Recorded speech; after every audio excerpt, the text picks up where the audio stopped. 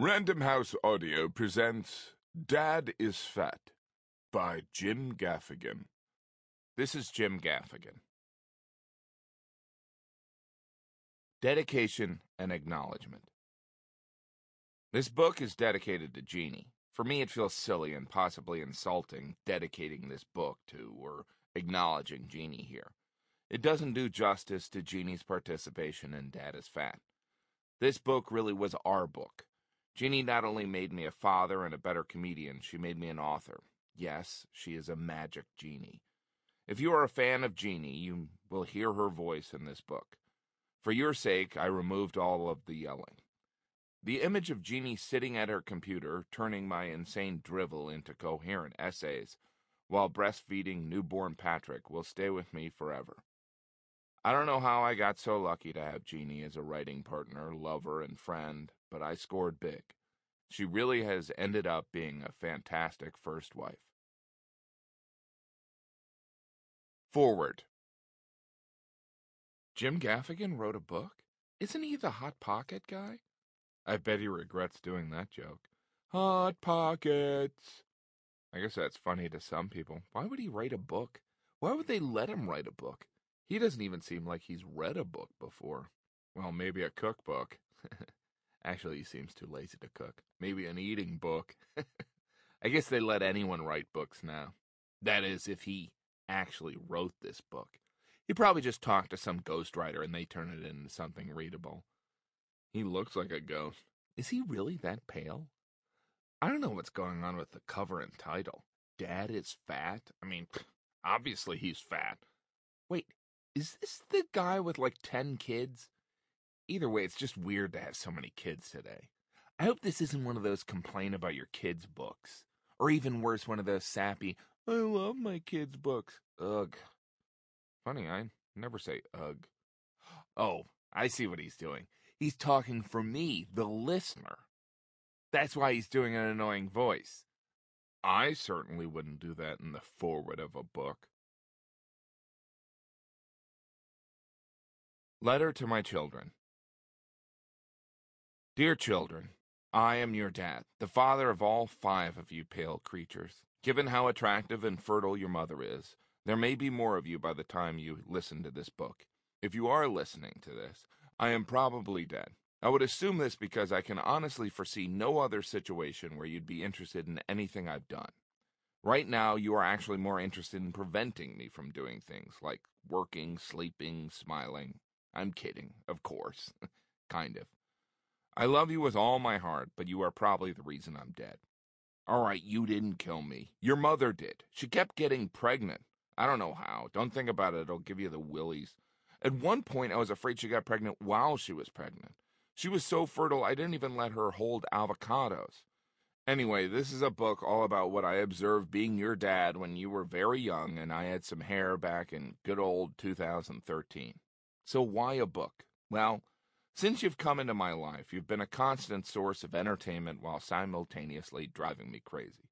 I felt I had to write down my observations about you in a book, and also for money, so you could eat and continue to break things. By the way, I'm sorry I yelled so much and did that loud clapping thing with my hands. I hated when my dad would do the loud clapping thing with his hands, so every time I do the loud clapping thing, it pains me in many ways. Most of the pain is because that loud clapping thing actually hurts my hands. You may be wondering how I wrote this book. From a very early age, you all instinctively knew I wasn't that bright of a guy. Probably from all the times you had to correct me when I couldn't read all the words in The Cat in the Hat. Hell, I find writing emails a chore. Thank you, spell check. I wrote this book with the help of many people, but mostly your mother. Your mother is not only the only woman I've ever loved, but also the funniest person I know. When your mom was not in labor yelling at me, she made me laugh so hard. Love, Dad. P.S. How did you get that hula hoop into that restaurant Easter 2011? Who's Who in the Cast? Jim Gaffigan. Dad. Jim feels honored to be playing the title role of Dad. Prior to being cast in Dad is Fat, Mr. Gaffigan also had the title role in the long running show Mediocre Uncle. He is thrilled to be given this opportunity to work with the fine cast of Dad is He has virtually no training, skills, or instincts on how to play this role. New York Times. Jeannie Noth Gaffigan. Mom, director, producer, costume, hair and makeup design, casting director, technical director, catering, music and lyrics, usher, choreographer, additional music and lyrics. Miss Noth Gaffigan also coaches Jim Gaffigan in the role of Dad. Mari Gaffigan. Oldest, ensemble, founding member of Dad is Fat Company. Miss Gaffigan is an eight year old third grader and an amazing dancer, off Broadway. I once had my own bed. Jack Gaffigan. First son, ensemble, sound design, and special effects. Jack was last seen in Yelling for No Reason at All. He is six and would like to thank God for his incredible good looks, which earned him the leading role in the hit show I'm Too Cute to Punish. Katie Gaffigan. Middle child, ensemble. Katie is three years old and was the inspiration for the song You Are My Sunshine. She would like to thank the creators of Scooby Doo and The Color Green.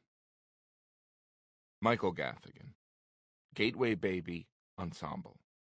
Michael is a one year old and has been dazzling audiences since his 2011 debut. He would like to thank everyone who encouraged him to pursue his childhood dream of playing with a ball. Patrick Gaffigan. Newborn Ensemble. Patrick is the newest cast member, a truly tireless performer. He has been with the company for only weeks, but has already won the award for Most Colicky Newborn 2012. Setting Present day, a tiny, crowded two bedroom apartment on the Bowery in downtown Manhattan. There will be no intermission, ever. Rue the Day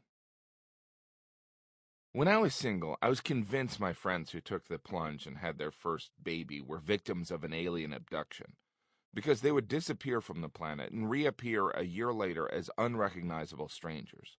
Of course, that may have been because I was too into the X Files. When I initially started dating Jeannie, the notion of settling down and having children became a feasible reality for me. Coincidentally, I was invited to visit one of my close childhood friends who had been abducted by aliens. I mean, who got married and had a kid about a year earlier. My friend, his wife, and their one year old baby had settled in the Southwest. I was working in LA, so a weekend visit was totally doable. I thought it would be great if I brought Jeannie. We could see what it would be like when we got married and had a baby. My friend Tom, name changed to protect his identity and hopefully preserve the friendship, suggested that we could drive out and hike the Grand Canyon which to me sounded unnecessarily difficult and way too outdoorsy, but I knew active Jeannie would love it. Jeannie and I arrived at night. We were much later than expected due to a flight delay. As we entered Tom's darkened house, we were instructed to please be quiet as to not wake the baby. I felt like a teenager sneaking back into my parents' house after a missed curfew. We silently tiptoed into a guest room, giggling. I feel like we're in trouble, Jeannie whispered. Once we settled in the room, Tom came in and said good night, announcing that we would be leaving around 7 a.m. for the Grand Canyon, so he wanted to get a good night's sleep. As Tom shut the door, Jeannie looked at me confused and said, I thought you said we would have dinner or something. I looked at my watch. It was 9 p.m. I thought, well, the, he's a parent. I guess this is what parenting involves. This must be what grown ups do. They skip their second dinner. The next morning, at the crack of 7 a.m., we set off to make the long, scenic drive to the Grand Canyon. Tom Saab was seated with men in front and the ladies in back, with the one year old in the car seat between them. I suppose the first really big red flag of the trip was the fact that there was one CD allowed to be played in the car. It was explained to us that this CD was meant to soothe the baby. The volume would be occasionally adjusted based on the baby's needs. Uh, okay. So we drove and drove, talking and listening to songs with lyrics like Ding a Ding a Dong, Ding a Ding a Dong. If you haven't driven through the Southwest, the only thing more awe inspiring than the beauty of the landscape is the absence of people. You can drive for hours and never see another person. Restaurants are scarce, expensive, and provide little selection. When we stopped for an early lunch, I ate